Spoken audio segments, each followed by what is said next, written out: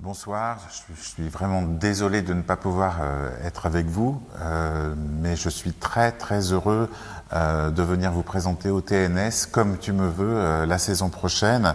C'est une pièce que nous avons créée donc la saison dernière à l'Odéon, une pièce qui a été conçue en même temps que les Géants de la Montagne que nous étions venus présenter au TNS en 2015 et c'est une façon de boucler la boucle dans cette dernière saison de, Stanislas, euh, que je remercie euh, vraiment chaleureusement euh, de nous avoir fait régulièrement revenir au TNS pendant ces années de direction. Et vous savez à quel point le TNS, votre théâtre, m'est cher.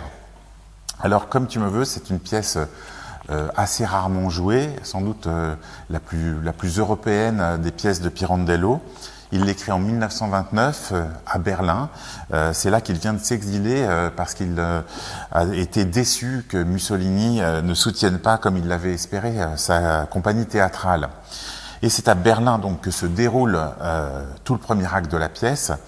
le seul acte d'ailleurs de tout son théâtre qui se passe à l'étranger, hors d'Italie, un acte qui est visiblement inspiré par, l'expressionnisme allemand, la loulou de, de Wedekind, euh, enfin tout ce monde euh, interlope des, cabarets euh, berlinois. On est exactement dix ans après la Première Guerre mondiale, au moment donc où le nazisme est en pleine ascension en Allemagne et où le fascisme triomphe en Italie. Et c'est ce monde d'après, ce monde d'après les traumatismes de la Première Guerre mondiale euh, qui va intéresser Pirandello. Le personnage central euh, n'a pas de nom. Pirandello l'appelle euh, l'inconnu et c'est un, comme on dit, un corps sans nom. C'est comme ça qu'elle se définit elle-même. C'est une danseuse de cabaret. Euh, elle est maîtresse d'un écrivain à succès et elle rentre chez lui tous les soirs, ivre et accompagnée d'une bande de, de, de, bourgeois débauchés. un soir, un photographe italien de passage à Berlin est sûr de la reconnaître comme étant Lucia la jeune épouse euh, disparue de son ami Bruno Pieri. Donc Lucia, en fait, a disparu dix ans plus tôt, sans laisser de traces, pendant l'invasion du nord de l'Italie par les armées euh, austro-hongroises, et on pense qu'elle a été euh, violée, enlevée ou tuée par l'armée ennemie. Mais, dans un premier temps, cet inconnu refuse de se laisser reconnaître. Est-ce que c'est le traumatisme de la guerre qui l'a rendu amnésique de sa propre identité ou est-ce qu'elle ne supporte tout simplement pas l'idée de retourner à sa vie d'avant après tout ce qui lui est euh, arrivé? L'inconnu finit pourtant par accepter de retourner en Italie et de redevenir Lucia pour son mari Bruno, qui semble n'avoir jamais cessé de l'aimer. Mais est-ce vraiment Lucia? Ou est-ce seulement un rôle qu'elle accepte de jouer, une identité qu'elle endosse, elle qui n'en a plus? La suite de la pièce va donc se passer en Italie.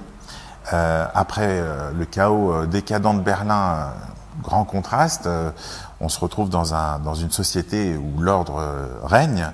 Et là, cet inconnu, l'inconnu Lucia, se retrouve au milieu d'une querelle d'intérêt pour l'héritage de sa propre maison.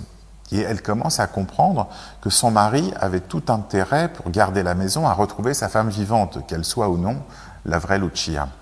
Et elle comprend que qu'elle a fui euh, un monde qui la dégoûte, Berlin, pour un autre qui la dégoûte encore plus, l'Italie. Alors, elle va décider de, faire voler ce, monde en éclats. Ce monde, ce monde, c'est ce monde d'après qui s'est reconstruit sur les décombres de l'ancien, euh, dans le déni des blessures, des ruines, dans le déni aussi de la barbarie en marche, euh, en Allemagne comme en Italie. Cette société qui ne veut pas voir ce qui la menace, qui, qui s'en accommode par intérêt, elle me fait parfois penser à la nôtre et qui pense que le, que le fascisme c'est seulement pour les autres et qui continue de refouler ce qui la dérange au risque de laisser les extrémismes détruire la démocratie.